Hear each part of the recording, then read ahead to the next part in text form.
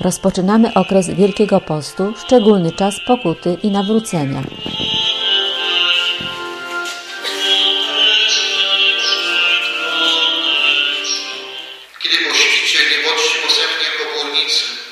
Przybierają oni wygląd ponury, ale pokazać ludziom, że poszczą.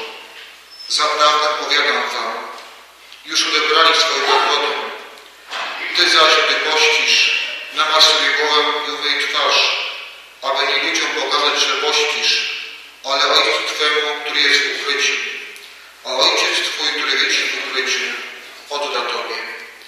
Oto słowo Pańskie.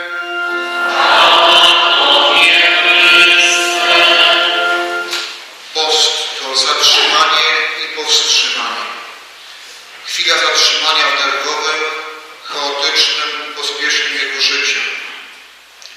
Czy nie jestem za bardzo wygodny? Czy jestem rozsądny w moim zabieganiu na co dzień? Czy nie za dużo mówię? Wszystko po to, aby mieć więcej czasu na Pana Boga. Z prochu powstałeś i w proch się obrócisz. Słowa, które niosą nadzieję.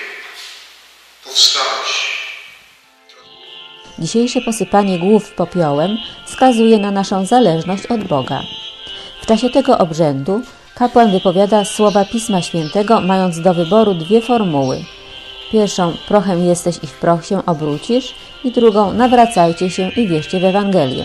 Pierwsza akcentuje bardziej naszą znikomość i przemijanie, druga przypomina o naszej grzeszności i konieczności wewnętrznej przemiany.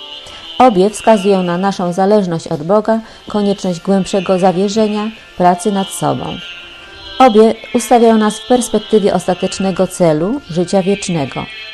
Aby otrzymać niezasłużony dar zbawienia, spoglądając na przykład Zbawiciela, który oddał za nas życie, powinniśmy pokutować, więcej się modlić i pełnić dzieła miłosierdzia.